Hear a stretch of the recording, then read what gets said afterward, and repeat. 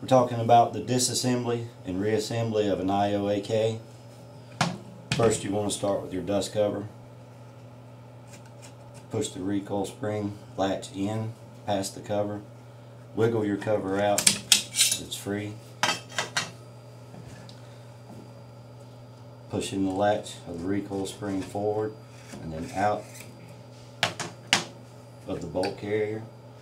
If you'll notice the cutouts in the receiver, pull the bolt carrier back to the cutouts, pop it out do that. Turn your bolt and pull back. It'll kind of guide itself and till you get to the about 180 degrees from where you started. Pull the bolt forward. To remove the safety, what I'm doing is squeezing the trigger and dropping the hammer with my thumb to keep it from doing any damage. Pull the safety up and pull it out. The gas tube, pull the lever straight up and you can see where it will flatten out so you can pull the tube out and clear it. And that's it for uh, the disassembly for cleaning. That's as far as you need to go.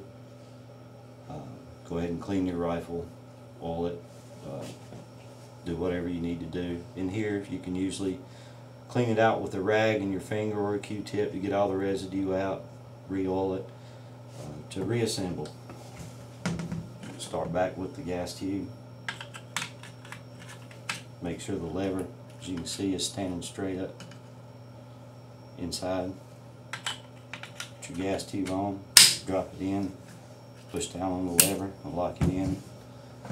Safety, straight up.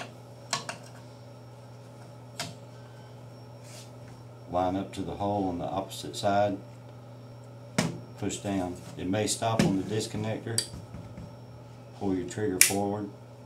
That'll allow it to slip behind it. Down with your safety. Pull back on your hammer and lock it. Bolt and carrier reassembly.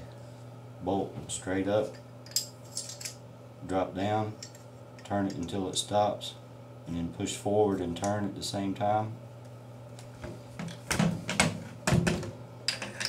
Into the gas tube. You'll notice again the cutouts in the receiver. Bolt ears will drop.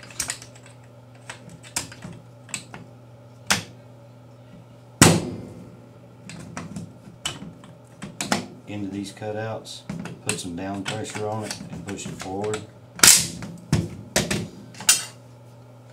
Recoil spring assembly into the bolt carrier. Back locked into the trunnion. To get the dust cover back on, line it up with the cutout in the rear sight. Push it in and give it a wiggle. Line it up in the back put some downward pressure and forward pressure with your thumb tap it in.